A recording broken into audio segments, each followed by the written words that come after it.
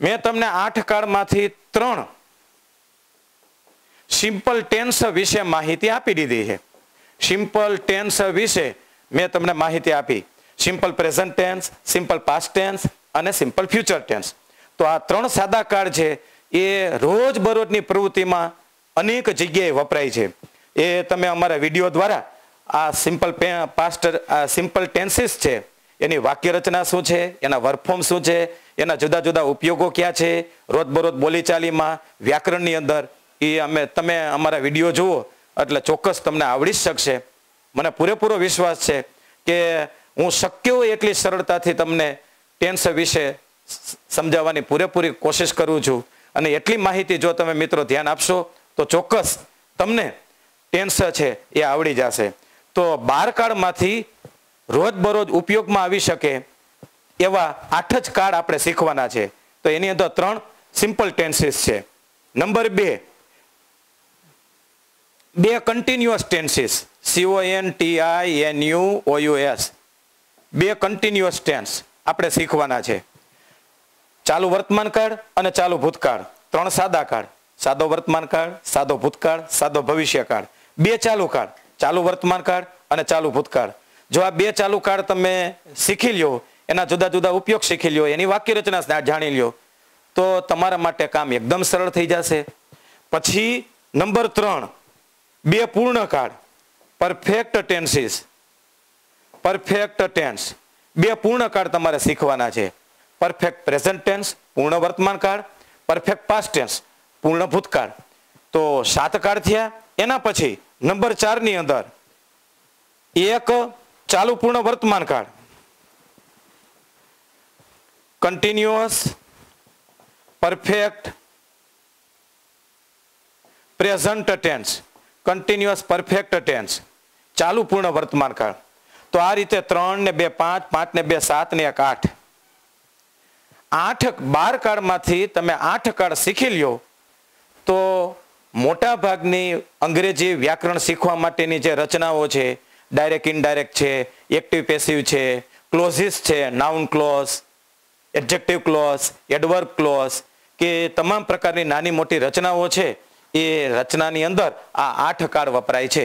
તો આઠ કાળ વિશે તમને પૂરેપૂરી અમે માહિતી આપવાનો પ્રયત્ન કરીશું. તો મિત્રો, આપણે ત્રણ સાદા કાળ શીખ્યા. હવે આજે હું તમને બે ચાલુ કાળ વિશે માહિતી આપું છું.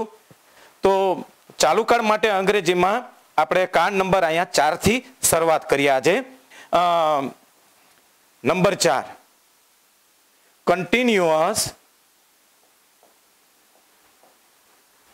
continuous present tense, continuous present tense, જેનો ગુજરાતી અર્થ થાય છે ચાલુ વર્તમાન કાળ, ચાલુ વર્તમાન કાળ. તો સૌથી પહેલા આપણે થોડાક એક્ઝામ્પલથી સમજીએ. મિત્રો, વર્તમાન સમય, વર્તમાન કાળ માટે અંગ્રેજીમાં શબ્દ છે પ્રેઝન્ટ ટેન્સ એટલે કાળ. કાળ નામનો શબ્દ ટાઈમ ટેન્સ નામનો શબ્દ ટાઈમ સાથે સંબંધ ધરાવે છે. તો એ પણ તમને હવે ખબર પડી ગઈ. તો વર્તમાન સમયમાં વર્તમાન સમયમાં કોઈ ક્રિયા ચાલુ છે? વર્તમાન સમયમાં વર્તમાન સમયમાં વર્તમાન સમયમાં કોઈ ક્રિયા કોઈ ક્રિયા ચાલુ છે? કોઈ ક્રિયા ચાલુ છે? તે દર્શાવવા માટે તે દર્શાવવા માટે અંગ્રેજીની અંદર ચાલુ વર્તમાન કાળ વપરાય છે. જો આપણને અહીંયા એ શબ્દ જ આપણને મિત્ર એમ સૂચવે છે the action is continuous the action is continuous action એટલે ક્રિયા. એક્શન એટલે ક્રિયા. કોઈને કોઈ ક્રિયા વર્તમાન સમયમાં બની રહી છે. કોઈને કોઈ ક્રિયા વર્તમાન સમયમાં થઈ રહી છે. કોઈને કોઈ ક્રિયા વર્તમાન સમયમાં ચાલુ છે.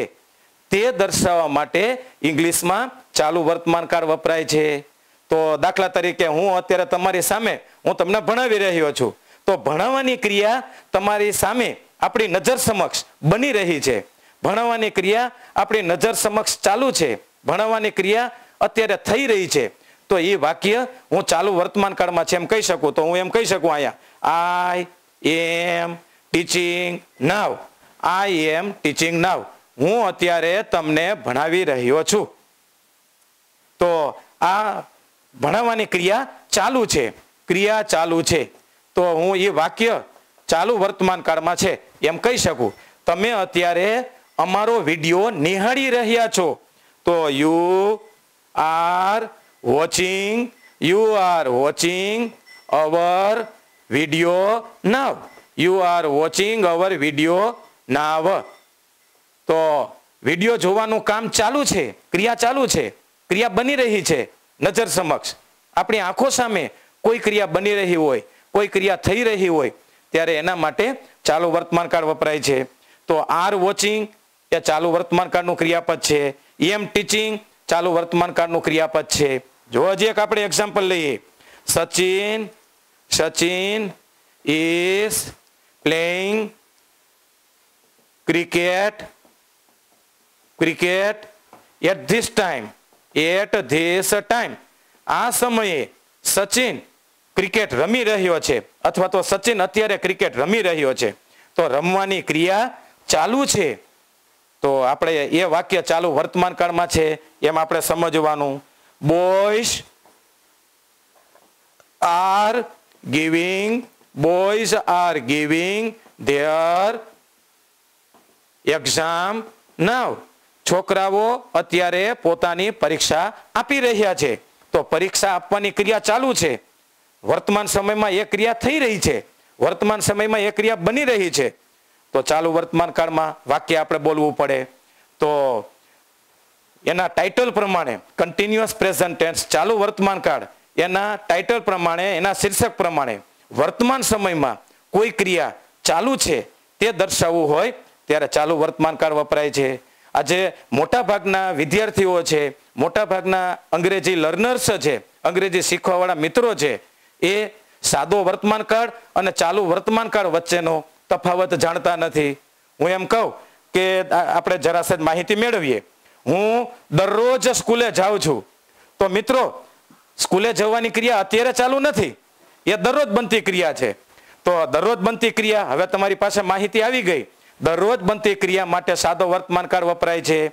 I go to school I go to school daily હું દરરોજ સ્કૂલે જાઉં છું. તો એ સ્કૂલે જવાની ક્રિયા અત્યારે ચાલુ નથી. એ દરરોજ બનતી ક્રિયા છે. સવારના સવા સાત વાગે વિદ્યાર્થીઓ સ્કૂલે જતા હોય છે. તો students go to school every day at seven fifteen. તો ચાલુ વર્તમાન કાળ અને સાદા વર્તમાન કાળ વચ્ચે તફાવત ધ્યાન રાખવો ખાસ જરૂરી છે.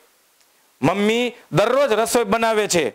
Mother mother prepares mother prepares food every day mummy દરરોજ રસોઈ બનાવે છે. તો અત્યારે એ ક્રિયા ચાલુ નથી. એ દરરોજ બનતી ક્રિયા છે.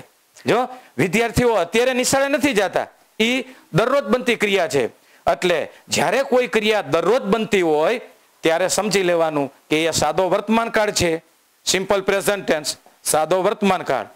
અને જ્યારે આપણી નજર સામે, આપણી આંખો સામે કોઈ ક્રિયા બની રહી છે, આપણી આંખો સામે કોઈ ક્રિયા થઈ રહી છે, આપણી આંખો સામે કોઈ ક્રિયા ચાલુ છે, ત્યારે સમજવું કે એ ચાલુ વર્તમાન કાળ છે. તો હું દરરોજ સ્કૂલે જાઉં છું, પણ અત્યારે નથી જાતો. એ દરરોજ બનતી ક્રિયા છે. તો એ સાદો વર્તમાન કાળ. I go to school daily પણ હું એમ બોલું, હું અત્યારે સ્કૂલે જઈ રહ્યો છું. તો અત્યારે તમારી નજર સામે મારે સ્કૂલે જવાની ક્રિયા ચાલુ છે. તો I am going I am going to school now I am going to school now તો આ ચાલુ ક્રિયા સૂચવે છે. ચાલુ ક્રિયા સૂચવે છે એટલે ચાલુ વર્તમાન કાળ. આને કહેવાય અત્યારે નજર સામે સ્કૂલે જવાની ક્રિયા ચાલુ છે. જ્યારે આ નજર સામે એ કોઈ ચાલુ ક્રિયાનો ઉલ્લેખ નથી કરતું. એટલે ખાસ ધ્યાન રાખો, ઘણી વખત આપણે વિદ્યાર્થીને પૂછીએ છીએ, હું દરરોજ હોમવર્ક લખું છું? એટલે તરત જ સીધું એમ બોલે આઈ એમ રાઇટિંગ હોમવર્ક તો એ તો એમ સૂચવે છે કે હું અત્યારે હોમવર્ક લખું છું. પણ આપણને એમ કે વાક્ય કીધું છે કે હું દરરોજ હોમવર્ક લખું છું. એટલે અત્યારે લખવાની ક્રિયા ચાલુ નથી. એ દરરોજ બનતી ક્રિયા સૂચવે છે. એટલે સાદો વર્તમાન કાળ. I write homework every day પણ એમ કહેવામાં આવે, હું અત્યારે ગૃહ કાર્ય લખી રહ્યો છું. તો સમજી લેવાનું. અત્યારે લખવાની ક્રિયા ચાલુ છે. તો આઈ એમ રાઇટિંગ હોમવર્ક, નાવ. તો મિત્રો, આ વીડિયો દ્વારા હવે તમારી પાસે સાદો વર્તમાન કાળ અને ચાલુ વર્તમાન કાળ વચ્ચેનો તફાવત તમને ખબર ખ્યાલ આવી જ જવો જોઈએ. મમ્મી દરરોજ રસોઈ બનાવે છે. તો એ અત્યારે રસોઈ બનાવવાની ક્રિયા ચાલુ નથી. અત્યારે રસોઈ બનાવવાનું કામ ચાલુ નથી. આ દરરોજ બનતી ક્રિયા સૂચવે છે. એટલે સાદો વર્તમાન કાળ. Mother is preparing food every day. પણ હું એમ કહું, મમ્મી અત્યારે રસોઈ બનાવી રહી છે. તો mother is preparing, mother is preparing food food now. Mummy અત્યારે રસોઈ બનાવી રહી છે. તો રસોઈ બનાવવાનું કામ આપણી નજર સામે ચાલુ છે. આપણી નજર સામે કામ ચાલુ છે, તો એમાં આપણે ચાલુ વર્તમાન કાળ વાપરવો પડે. તો અહીંયા સાદો વર્તમાન કાળ અને અહીંયા ચાલુ વર્તમાન કાળ તો મિત્રો, ખાસ તમને આ બાબત વિશે કેવું જરૂરી હતું. સાદો વર્તમાન કાળ એ વર્તમાન સમયમાં કોઈ ક્રિયા ચાલુ છે એનું કાંઈ માહિતી આપતો નથી.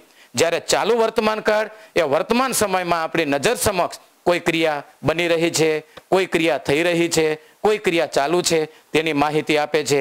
તો મને આશા છે કે તમે આ બે એક્ઝામ્પલ દ્વારા અને મારી આ માહિતી દ્વારા સાદા વર્તમાન કાળ અને ચાલુ વર્તમાન કાળ વચ્ચેનો તફાવત તમને ચોક્કસ ખ્યાલ આવી ગયો હશે. હું દરરોજ ટીવી જોઉં છું. તો દરરોજ ટીવી જોઉં છું. અત્યારે નથી જોતા. એ દરરોજ બનતી. તો I watch TV every day પણ હું એમ કહું, હું અત્યારે ટીવી જોઈ રહ્યો છું. તો અત્યારે એ ટીવી જોવાનું કામ ચાલુ છે. તો એ ચાલુ વર્તમાન કાળ તો ચોક્કસ અમારા વીડિયો દ્વારા તમને સાદા વર્તમાન કાળ અને ચાલુ વર્તમાન કાળના તફાવતની મેં તમને માહિતી આપી. જીવનમાં અત્યારના સમયમાં એકવીસમી સદીમાં કઈ ત્રણ બાબતોનું જ્ઞાન આપણે યાદ રાખવું એ પણ મેં તમને કીધું. જો આ ત્રણ બાબતનું જ્ઞાન આપણી પાસે નહીં હોય, તો અત્યારના સમયમાં આપણે કદાચ અભણ પણ ગણાશું. તો આ વીડિયો દ્વારા મેં તમને બે માહિતી આપી. જો તમને અમારા વીડિયો છે એ પસંદ પડતા હોય, તો તમે ચોક્કસ લાઈક કરજો, શેર કરજો અને તમારા યુટ્યુબ પર તમે સબસ્ક્રાઈબ કરજો. Thank you very much.